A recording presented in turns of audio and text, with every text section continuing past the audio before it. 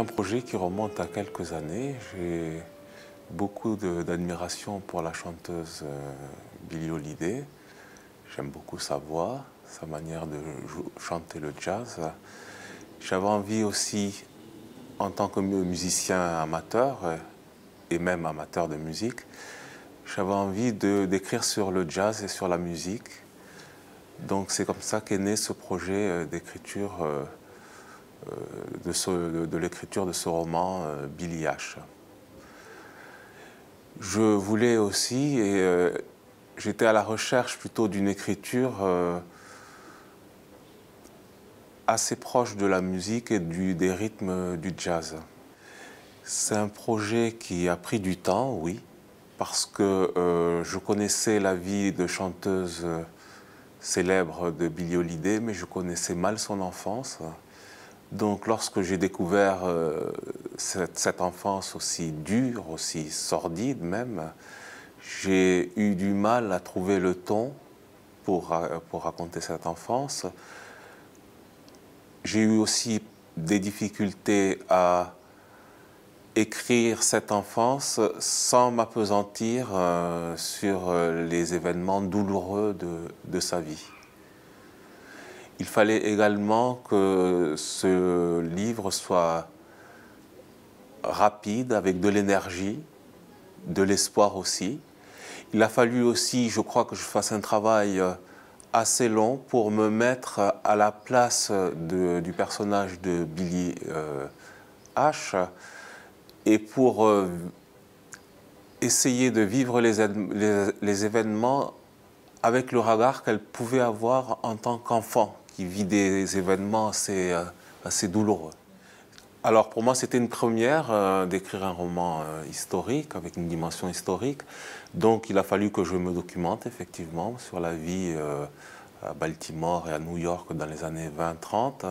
J'ai la chance d'autre part d'avoir été contacté il y a quelques années par un, un universitaire américain qui enseigne dans le Connecticut et nous sommes restés en relation, donc il m'a envoyé des photos de, Baltimore dans les années 20. Euh, donc ça m'a aidé euh, à, visualiser euh, quel était le contexte social de cette ville à, cette époque. C'est une enfant qui a dû apprendre très tôt à se débrouiller, à se défendre. C'est une enfant qui a connu son père euh, jusqu'à l'âge d'un an et demi, deux ans. Elle avait un côté garçon manqué, elle jouait euh, au baseball avec son, père par exemple. Ensuite, elle a dû affronter euh, la réalité de sa mère qui était très jeune et qui était une femme sans mari. Elle a donc dû faire face, elle était un peu mise à l'écart par rapport à sa famille, elle a dû faire face par rapport à sa cousine Ida qui ne l'aimait pas beaucoup et qui la battait souvent. Euh, c'est une enfant euh, qui a décidé très tôt de ne pas se laisser faire, de se révolter.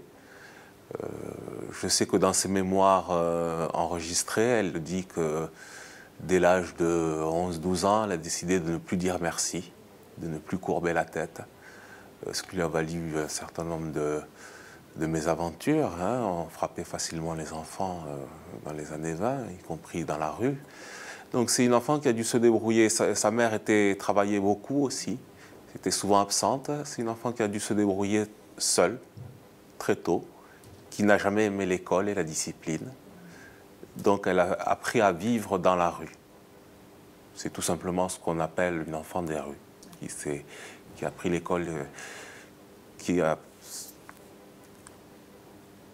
oui, qui a appris à vivre dans, la rue en se débrouillant, en travaillant très, très jeune, 6-7 ans, et qui a aussi appris la délinquance, évidemment.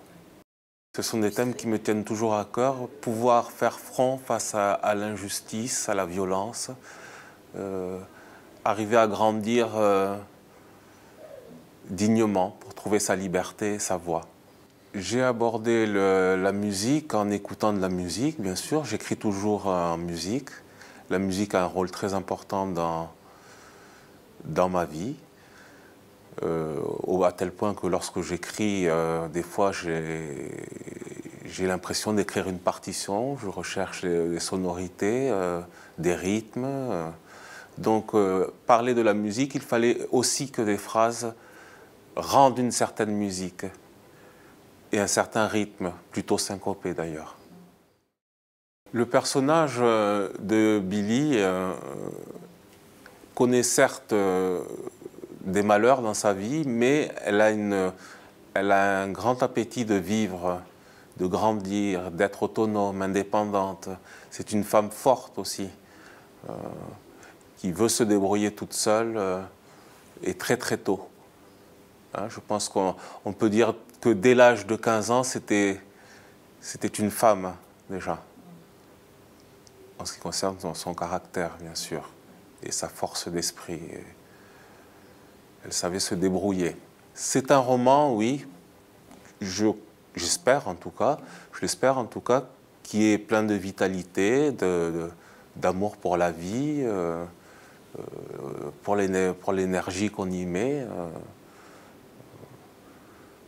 je crois que c'est très important de pouvoir exprimer euh, au travers, euh, à travers le langage l'amour de la vie, de l'énergie, de avoir des personnages qui, qui ne renoncent pas, mais qui sont dans la volonté de se surpasser à chaque instant. Pour les adolescents, c'est aussi important hein,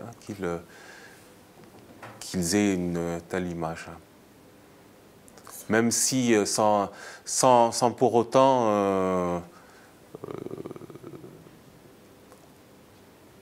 être naïf. je crois que les plus belles leçons de vie et les vies les plus réussies, ce sont celles